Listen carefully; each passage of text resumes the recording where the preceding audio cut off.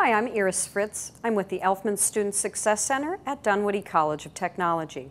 And I'm here today to talk to you about the relationship of Ohm's law in a series circuit and in a parallel circuit. Okay, well the first thing, I, I hope you're getting a feel for what we had just talked about, this idea of using current flow to do work for us and harnessing the energy, if you will, the work that we can get from something like this by putting resistors in the way and resisting the flow of the electron enough to create some friction because that's what we're doing. We are harnessing energy from current flow. If I draw a simple series circuit, and by now you should be able to recognize that this is indeed a series circuit. This is a series circuit that has three resistors. I'm just going to review a little bit. I'm going to call this one R1. The subscript is used to give you information about which resistor we're talking about.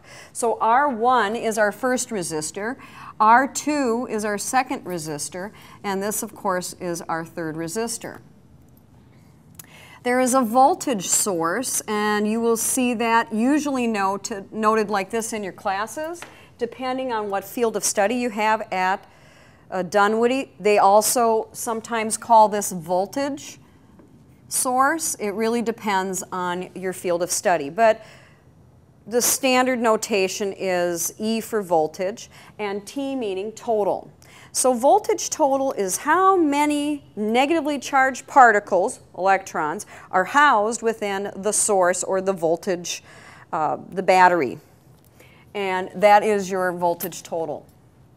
Now, when I offer this, if I had no positive, if you will, here, no positive charge here, there is no current flow.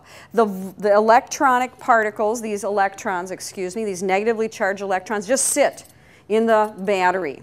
And when I offer them something that attracts them and pulls them from the source, which would be a positive charge, I now will have current flow. And my current will flow always negative to positive.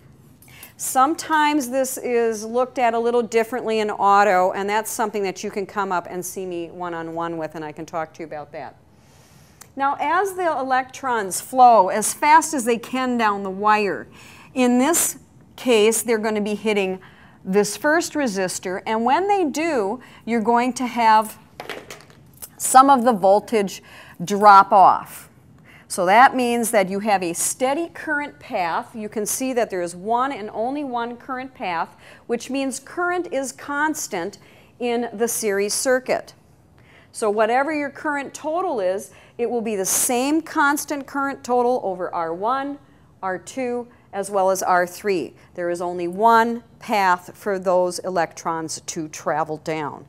And we use an I to represent current.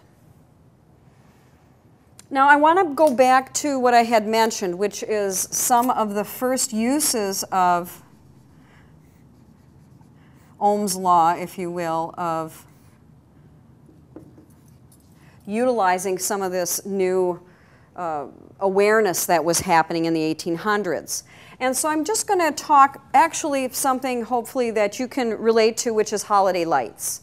So everybody has had some exposure to holiday lights. We use them to light up all kinds of things, Christmas trees in the Christian faith. We use them to decorate environments, but they're good old-fashioned holiday lights that we buy at Target. I shouldn't probably promote any store in particular.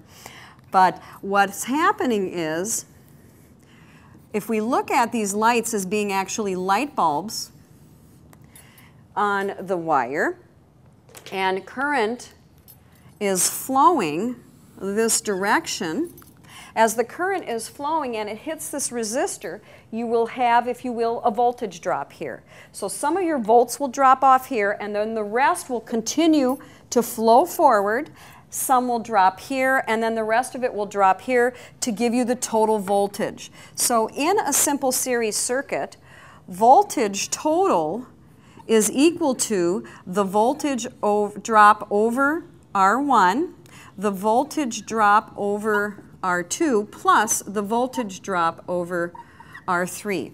And by adding these three up is one way where we can determine the total voltage.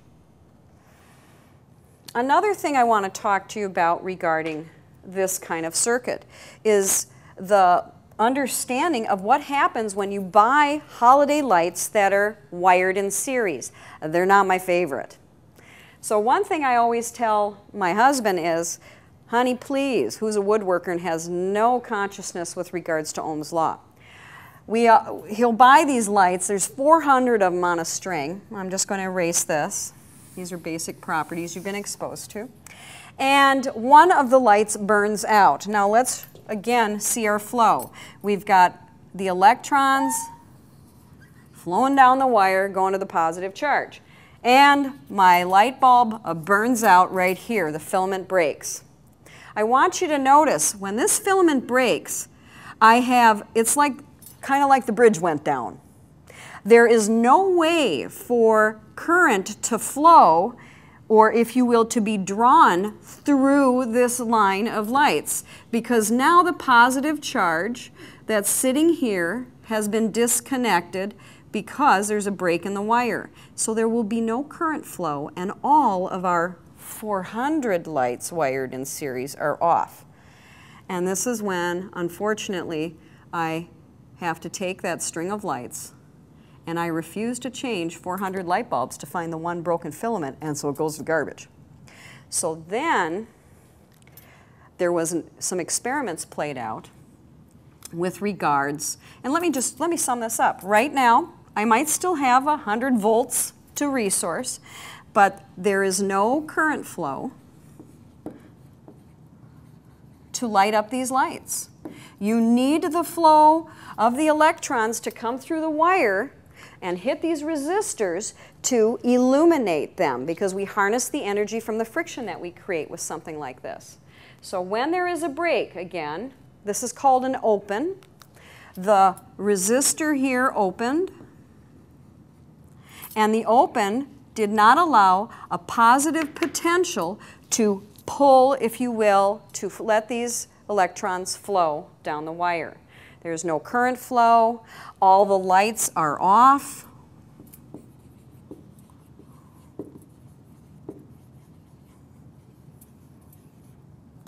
And I'm a sad girl with holiday lights that have 400 of these things and only one is bad to not be able to use it the way I'd like. So what I do is I ask my husband, would you be so kind as to start to look at the package, pay a little more front end. You're going to pay a little more up front, but let's get something that's wired in parallel because then I will know which light is off and I will still have lights illuminated. So let's talk about parallel circuits and some of that basic consciousness.